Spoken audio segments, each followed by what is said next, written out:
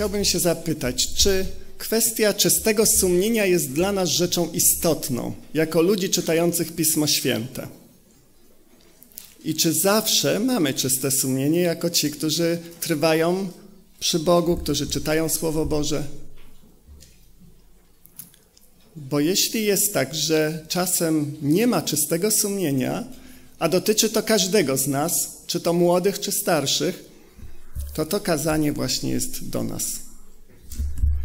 Warunki otrzymania Bożego miłosierdzia są proste, sprawiedliwe i rozsądne. Nie musimy zadawać sobie bólu, aby dostąpić przebaczenia grzechów. I to jest wielka łaska dla nas. Nie musimy udawać się na długie i wyczerpujące pielgrzymki lub zadawać sobie bolesną pokutę, aby się przypodobać Bogu i zmazać swoje winy. Czytaliśmy tekst z przypowieści Salomona, że kto porzuca występki, doznaje miłosierdzia, tak? Kto wyzna i porzuci swój grzech, miłosierdzie stanie się jego udziałem. I chciałbym, abyśmy otworzyli teraz list Jakuba 5:16.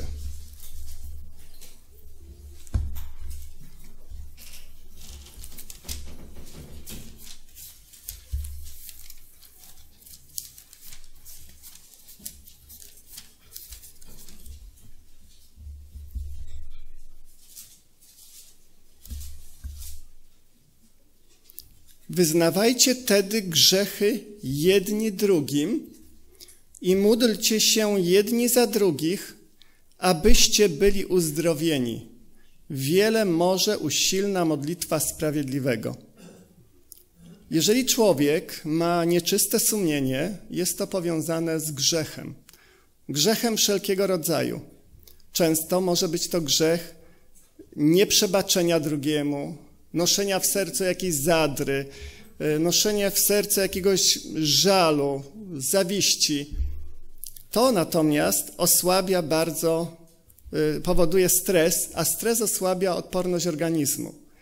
Także niestety, ale często też i choroby mogą być przyczyną tego, że człowiek całe życie nosi jakiś uraz do drugiego.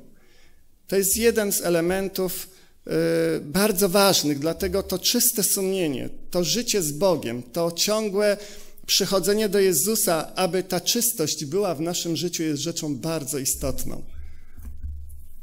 Teraz otwórzmy Ewangelię Łukasza, 15 rozdział. Ewangelia Łukasza, rozdział 15.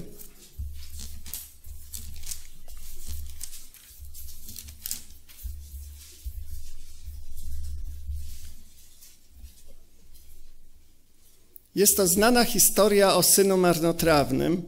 Wiemy o tym, że ojciec miał dwóch synów, ale jeden z nich postanowił wziąć wszystko, co należało do niego, udać się gdzieś daleko i niestety stało się tak, że roztrwonił wszystko, co posiadał.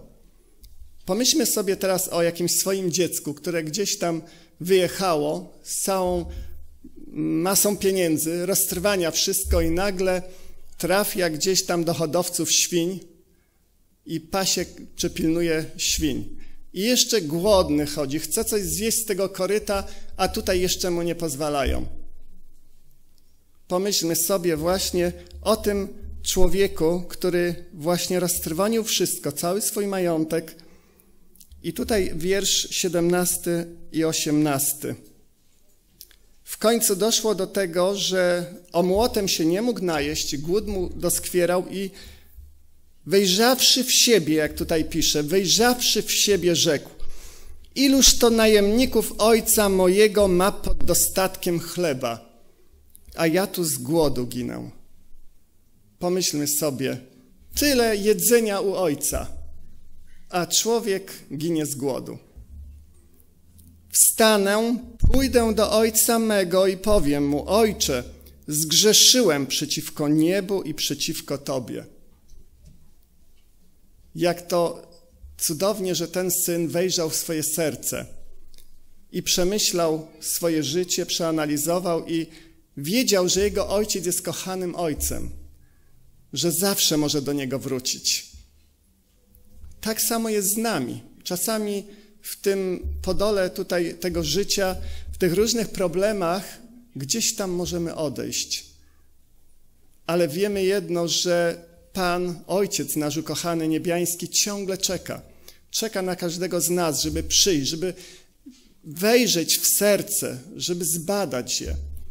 Bo przecież z naszym Ojcem jest tylko błogosławieństwo i dobrobyt. Teraz otwórzmy jeszcze Ewangelię Łukasza, 19 rozdział, czyli tutaj, kiedy człowiek wyznaje swoje grzechy, dostępuje miłosierdzia. Ten syn marnotrawny doznał miłosierdzia, przyjęcia przez ojca, uzyskania na nowo tego, co właściwie zostawił. I teraz Ewangelia Łukasza, 19 rozdział. Następna historia od pierwszego wiersza. Wszedłszy do Jericha, przechodził przez nie. A oto mąż imieniem Zacheusz, przełożony nad celnikami, człowiek bogaty, pragnął widzieć Jezusa, kto to jest, lecz nie mógł z powodu tłumu, gdyż był małego wzrostu. Pobiegł więc naprzód, wszedł na drzewo sykomory, aby go ujrzeć, bo tamtędy miał przechodzić. A gdy Jezus przybył na to miejsce, nawet nie spojrzał na niego, poszedł dalej. Pomyślmy sobie, co czułby wtedy Zacheusz, gdyby tak historia się potoczyła. Człowiek, który nie był lubiany, który był odrzucony, który był oszustem, przez to właśnie ludzie odsuwali się od niego. I teraz, gdyby Jezus nawet na niego nie spojrzał, co by w jego sercu się działo? Ale dzięki Bogu ta historia inaczej przebiegła. A gdy Jezus przybył na to miejsce, spojrzał w górę i rzekł do niego: Zacheuszu, zejdź śpiesznie, gdyż dziś muszę się zatrzymać w Twoim domu. I zszedł śpiesznie i przyjął go z radością. Czyli co? Miłosierdzie stało się jego udziałem. Uradował się, został zaakceptowany, znalazł przyjaciela w Jezusie Chrystusie. Czy chcemy mieć takiego przyjaciela każdego dnia, który nas do końca rozumie, który przebacza, który przytula, który mówi: Nie martw się, nawet jeśli coś zrobiłeś w życiu złego, ale ja ci przebaczam. Chodź za mną. A y, zszedł śpiesznie, przyjął go z radością Zacheusz, a widząc to wszyscy szemrali, mówiąc: Do człowieka grzesznego przybył w gościnę. Zacheusz zaś stanął i rzekł do Pana, Panie, oto połowę majątku mojego daję ubogim, a jeśli na kim, co wymusiłem, jestem gotów oddać w czwórnasób. A Jezus rzekł do niego, zbawienie stało się udziałem domu tego, ponieważ i on jest synem Abrahamowym. Przyszedł bowiem Syn Człowieczy, aby szukać i zbawić to, co zginęło. Pan Jezus przyszedł, aby szukać i zbawić każdego z nas. To, że tutaj jesteśmy, to tylko dzięki tej łasce Bożej, która sprawiła, że otworzyliśmy się na Jego miłość, przyjęliśmy Jego słowo i postanowiliśmy iść za Nim. Ale na tej drodze są różne upadki, różne chwile trudne. Jeśli nawet przydarzyło nam się upaść, mamy kochającego Ojca w niebie, który nas przygarnia, który przytula nas i mówi: Nie martw się. Nie rób tego więcej, ale ja ci przebaczam. Miłuję cię. Tylko jednemu Bogu wyznajemy swoje grzechy oraz jedni drugim. Jeśli obraziłeś swojego bliźniego, swojego brata, przyjaciela, powinieneś przyznać się do błędu, a on powinien chętnie ci wybaczyć.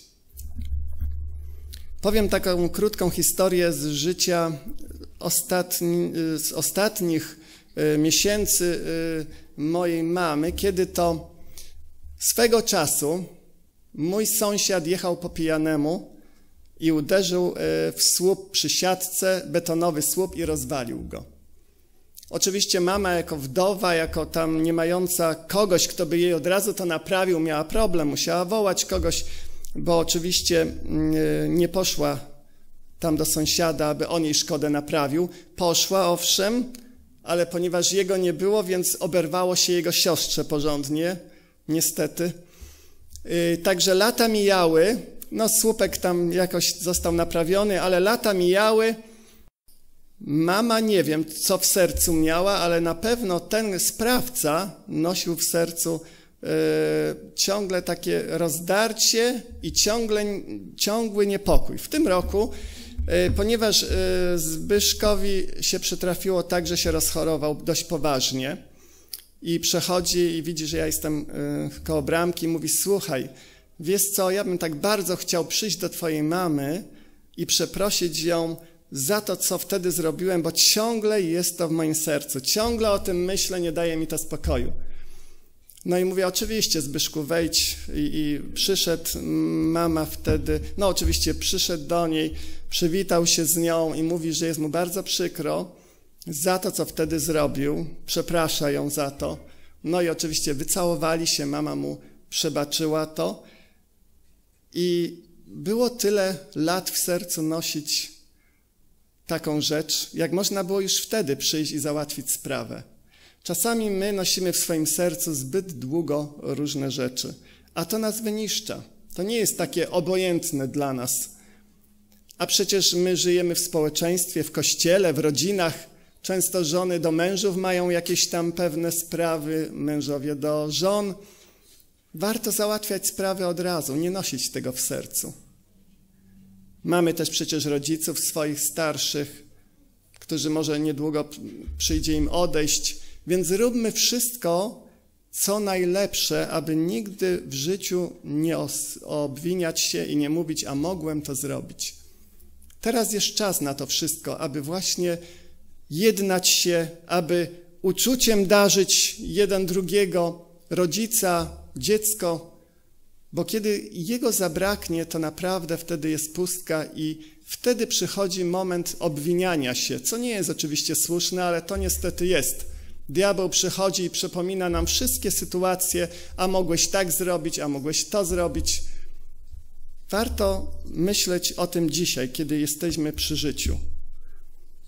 I teraz jeszcze otwórzmy pierwszą Mojżeszową, 45 rozdział.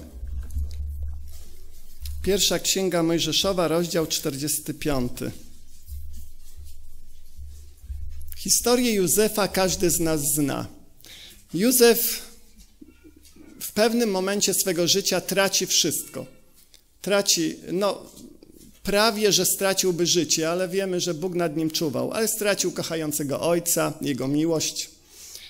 Yy, został sprzedany do Egiptu.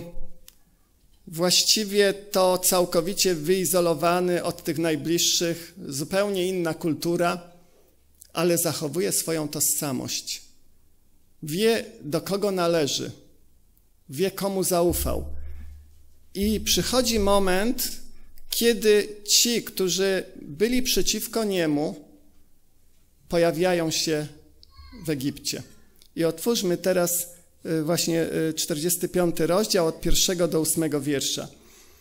Wtedy Józef nie mógł już opanować się dłużej wobec wszystkich, którzy stali wokoło niego i zawołał, wyprowadźcie wszystkich ode mnie. Nie pozostał przy nim nikt, gdy Józef dał się poznać braciom swoim. Pomyślmy sobie, ile tutaj jest emocji. My tak może dzisiaj czytamy to e, z innej perspektywy, bo to nas nie dotyczy, ale powiedzmy sobie, Józef, młody człowiek, sprzedany do Egiptu i przez lata nie widzący ojca ani braci, czy miał żal, czy miał jakiś uraz do nich? Pismo Święte dalej mówi, że nie, bo zrozumiał, że to, co się stało, było z woli Bożej, to, to że tam się znalazł. Ale widzimy tutaj, że wzruszył się, nie potrafił opanować swoich emocji. Zapłakał tak głośno, że usłyszał, usłyszeli to Egipcjanie i usłyszał to dwór faraona. Potem rzekł Józef do braci swoich: Jam jest Józef, czy żyje jeszcze ojciec mój? A bracia jego nie mogli mu odpowiedzieć, bo się go zlękli. Józef zaś rzekł do braci swoich: Zbliżcie się, proszę do mnie. A gdy się zbliżyli, rzekł, jam jest Józef, brat wasz, którego sprzedaliście do Egiptu. Pomyślmy sobie, Józef czyste sumienie ma. Ufa Bogu, powodzi mu się dobrze, tęskni zapewne za swoimi braćmi, ojcem, ale bracia nie mieli czystego sumienia. Cały czas widzieli przed oczyma Józefa, którego sprzedali. Nawet wcześniej, e, jak tutaj czytamy, to kiedy Józef z nimi rozmawia, kiedy oni przychodzą pierwszy raz po zboże, później drugi raz, to ciągle im przypomina o pewnych rzeczach. Oni opowiadają, a mieliśmy, jeden, e, mieliśmy tylu i tylu braci, jeden został w domu, a drugiego już nie ma. Cały czas oni mieli przed oczyma to, co zrobili.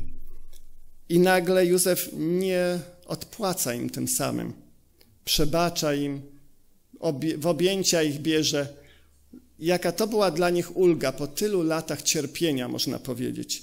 Lecz teraz nie trapcie się, ani nie róbcie sobie wyrzutów, żeście mnie tu sprzedali, gdyż Bóg wysłał mnie przed wami, aby was zachować przy życiu. Bo już dwa lata trwa głód na ziemi, a jeszcze będzie pięć lat bez orki i żniwa. Bóg posłał mnie przed wami, aby zapewnić wam przetrwanie na ziemi aby wielu zostało zachowanych przy życiu. Bóg, Ojciec nasz, posłał Jezusa Chrystusa, który został sprzedany, oddał swoje życie, ale po to, aby ratować każdego z nas, abyśmy my mieli dzisiaj życie wieczne. Tak jak wtedy posłał Józefa do Egiptu, a następnie przez niego ratuje całą rodzinę, tak właśnie Jezus ratuje nas. Powinniśmy prosić o przebaczenie Boga, gdyż brat lub siostra, którego lub którą zraniłeś, należy do Niego.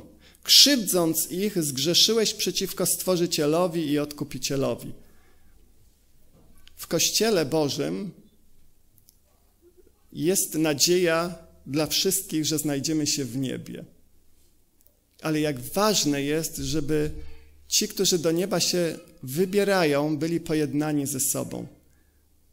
Bo są różne sytuacje, każdy z nas wie, ale czy warto cokolwiek nosić w sercu, jakąkolwiek urazę i cierpieć na tej ziemi, jak można załatwić sprawę wcześniej? Niektórzy mówią, niebo jest na tyle duże, że możemy się nie spotkać, ale możemy się też tam nie znaleźć. Dlatego ważne jest, żeby załatwiać wszystko teraz i tutaj. A przecież pośrednik nasz Jezus Chrystus ciągle czeka, aby przyjść do Niego. List do Hebrajczyków 4:15. List do Hebrajczyków 4:15.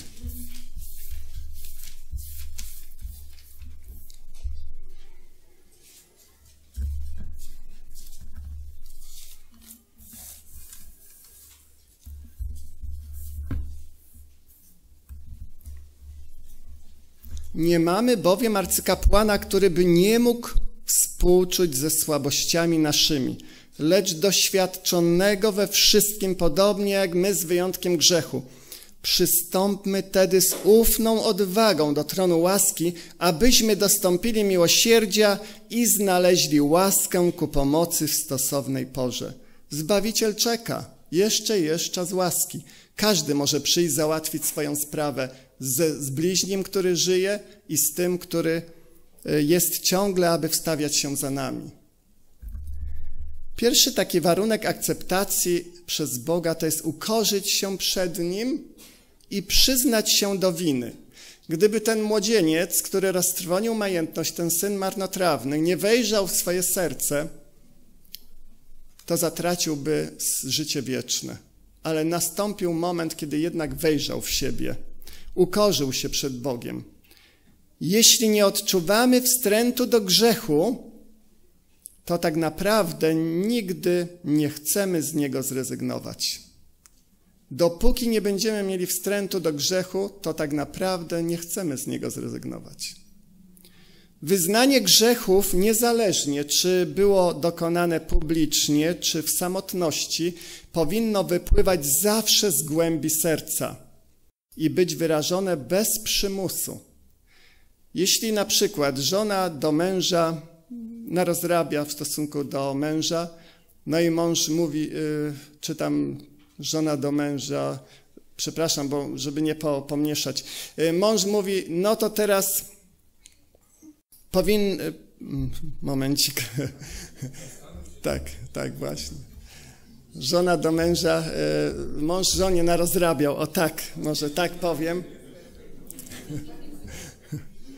No i żona, żona mówi, no teraz powinieneś przyjść do Boga, wyznać, prawda? I zmusza go do tego. Masz przeprosić mnie, masz wyznać Bogu i on nie chce tego, przynajmniej w danej chwili, no ale, bo żona mówi, tam wypada przyjść, no bo będę miał spokój, tak? Czyli takie wymuszenie tego przeproszenia, takie wyznanie grzechu, takie wymuszone.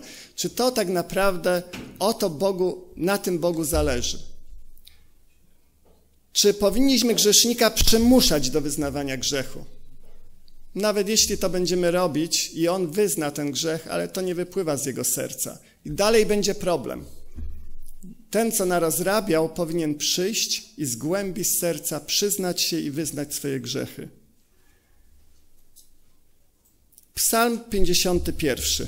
Pamiętamy historię Dawida. Dawid w pewnym y, okresie swego życia narozrabiał.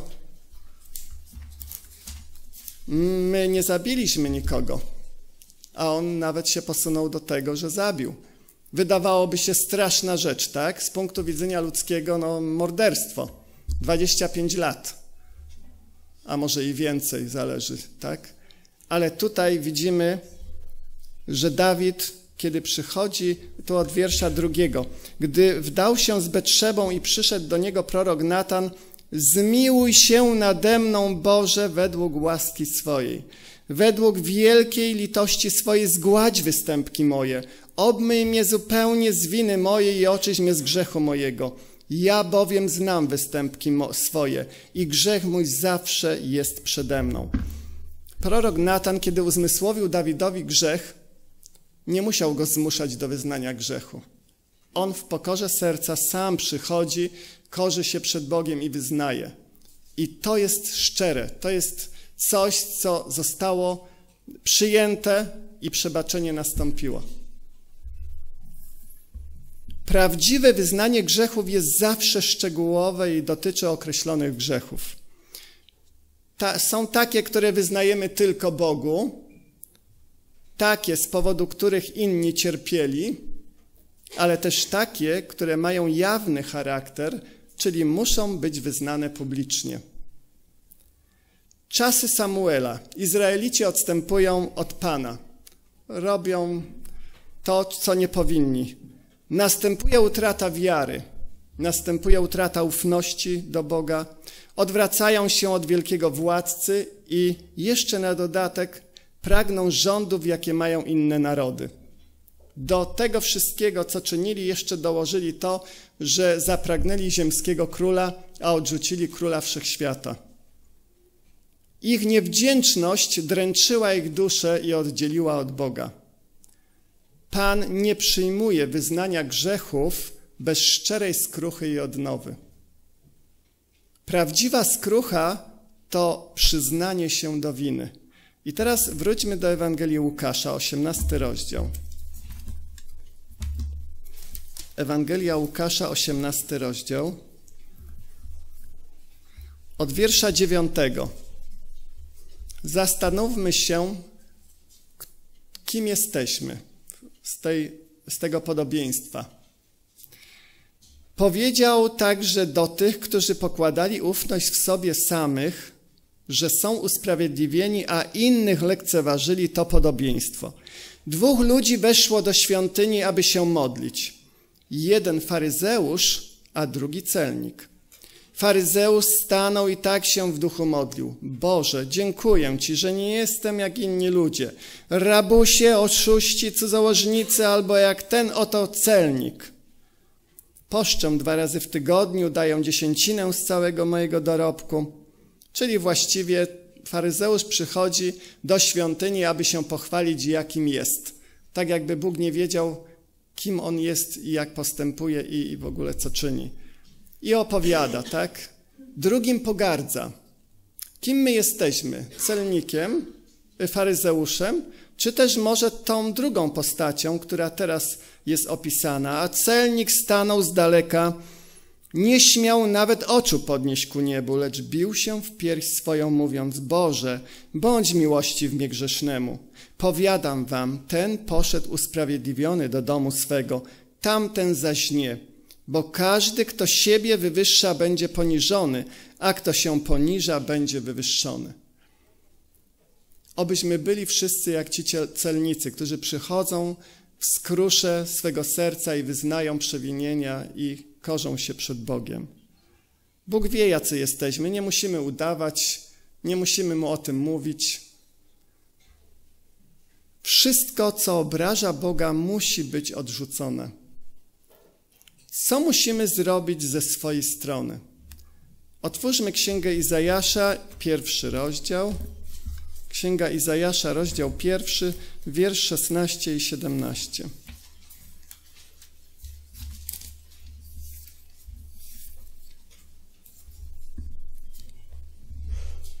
Izajasz, pierwszy rozdział, 16-17.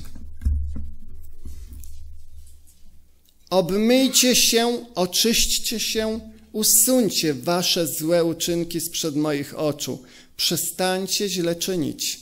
Uczcie się dobrze czynić. Przestrzegajcie prawa. Brońcie pokrzywdzonego, wymierzajcie sprawiedliwość, sierocie, sierocie i wstawiajcie się za wdową. Uczcie się dobrze czynić.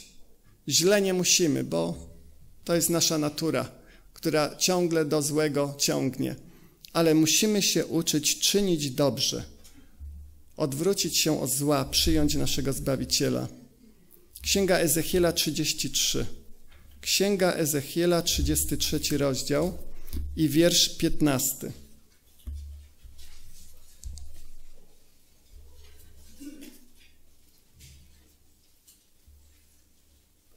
Księga Ezechiela, 33 rozdział i 15 wiersz. Będzie oddawał zastaw, zwracał co zagrabił, postępował zgodnie z zasadami życia, nie popełniając występku, na pewno będzie żył i nie umrze. Pamiętam pewną swoją e, sytuację z e, młodzieńczego życia, właściwie dziecięcego życia. Moje kuzynki miały dwie jednakowe skakanki. Ja, kiedy pędziłem krowy na pastwisko, przechodząc koło nich, pożyczyłem od nich jedną skakankę, ale oczywiście jej nie oddałem. Pamiętam, e, że tam jedna z nich później płakała, no bo dwie były jednakowe, a tutaj jedna, jednej zabrakło skakanki, tak?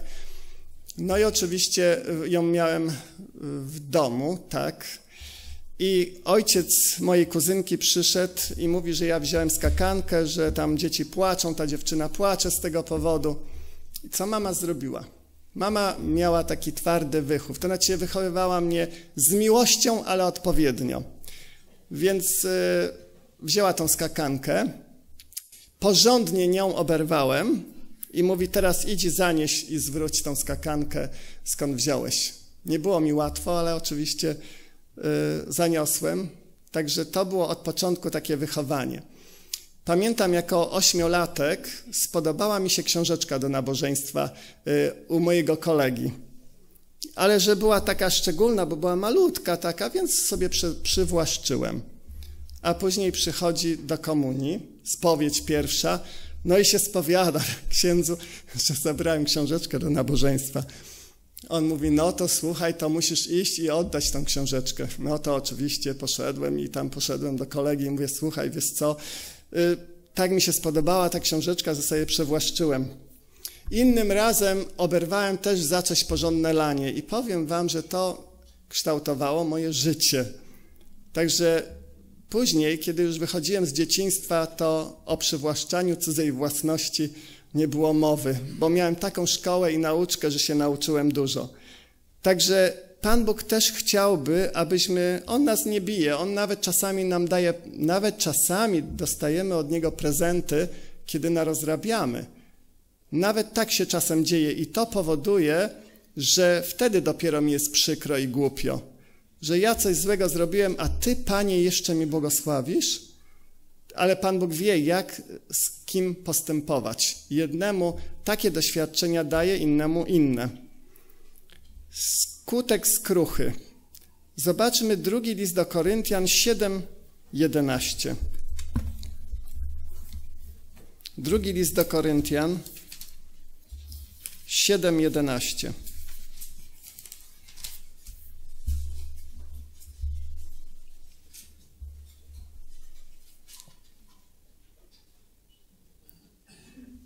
Patrzcie, co ten was smutek według Boga sprawił, jaką gorliwość, jakie uniewinnianie się, jakie oburzenie, jaką obawę, jaką tęsknotę, jaki zapał i jaką karę. Pod każdym względem okazaliście się czystymi w tej sprawie. Czyli zobaczcie, y, tu jeszcze dziesiąty wiersz. Albowiem smutek, który jest według Boga, sprawia upamiętanie ku zbawieniu i nikt go nie żałuje. Smutek zaś światowy sprawia śmierć. Także widzimy, skrucha prowadzi do, e, do takiego e, smutku, ale też do właśnie wyznania grzechów, do pojednania się z Bogiem, do oddania Mu swojego serca. Otwórzmy Ewangelię Mateusza, 26 rozdział. Ewangelia Mateusza, rozdział 26.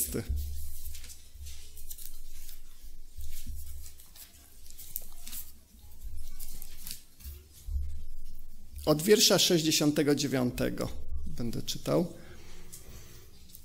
A Piotr siedział zewnątrz na podwórzu i przystąpiła do niego jedna służebna, mówiąc: I ty byłeś z Jezusem Galilejczykiem. On zaś zaparł się wobec wszystkich i rzekł: Nie wiem, co mówisz. A gdy wyszedł ku bramie, ujrzała go inna i mówiła do tych, co tam byli: Ten był z Jezusem Nazarejczykiem. I znowu zaparł się pod przysięgą: Nie znam tego człowieka. A chwilę po tym przystąpili ci, co tam stali i rzekli Piotrowi, prawdziwie, ty też jesteś z nich, wszak i zdradza cię twoja mowa. Wtedy począł się zaklinać i przysięgać, nie znam tego człowieka. I zaraz kur zapiał. I wspomniał Piotr na słowa Jezusa, który powiedział, zanim kur zapieje, trzykroć się mnie zaprzesz. I co dalej pisze? Wyszedłszy, gorzko zapłakał. Widzimy tutaj prawdziwą skruchę Piotra. Po tym doświadczeniu już nie ma opisanych innych takich doświadczeń. Później wyznaje miłość Jezusowi, później jest gorliwym Jego apostołem. Gdy grzech przytępia moralną wrażliwość, człowiek przestaje dostrzegać wady swojego charakteru, a nie ogromu zła. Król Saul, zobaczmy. Na początku miał dobry start, ale niestety marnie skończył. Duch Święty pracował nad nim nieustannie, ale on za, zaparł się i właściwie zatwardził na tyle swoje serce, że udał się w końcu do wróżki i bardzo marnie zginął.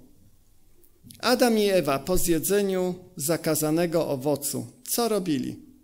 mieli poczucie wstydu, przerażenia, tak jak się dzieje u nas, kiedy zgrzeszymy. Pojawia się wstyd, czasem przerażenie i myśl, pierwsza myśl ich to była usprawiedliwić swój grzech. I to jest nasza natura. Jak tam żona do męża coś narozrabia, czy odwrotnie, już się usprawiedliwiamy, a to przez ciebie, a to ty byłaś powodem, a jakbyś tak nie zrobiła, jakbyś tak nie zrobił, tak? Dzieci do rodziców, rodzice do dzieci, między sobą, bracia w kościele, siostry, wszyscy dążą do usprawiedliwiania się. A bo to tak, to on tak na mnie źle spojrzał może. Także cały czas jest ten duch samousprawiedliwiania się. I oczywiście pochodzi to od ojca kłamstwa i przejawia się u wszystkich, tak jak powiedziałem. Niezależnie, czy to w kościele, czy poza kościołem, czy w rodzinie, czy gdzieś tam osobno to Bogu się bardzo niestety nie podoba i nie jest przez Niego inspirowane. Czyli duch samousprawiedliwiania się nie może wchodzić w grę. Jeśli chodzi o wybaczanie grzechów, przebaczanie, przepraszanie, nie ma samousprawiedliwiania się. Paweł nie pomniejszał swojej winy i nie usprawiedliwiał swojej niewiedzy, kiedy, kiedy wydawał e, listy, aby mordować, zabijać pierwszych chrześcijan. Dzieje apostolskie, 26 rozdział, jeszcze dwa ostatnie fragmenty przeczytamy. Dzieje apostolskie, 26 rozdział.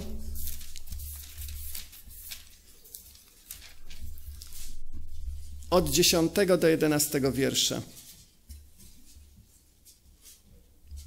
26 rozdział, 10 do 11.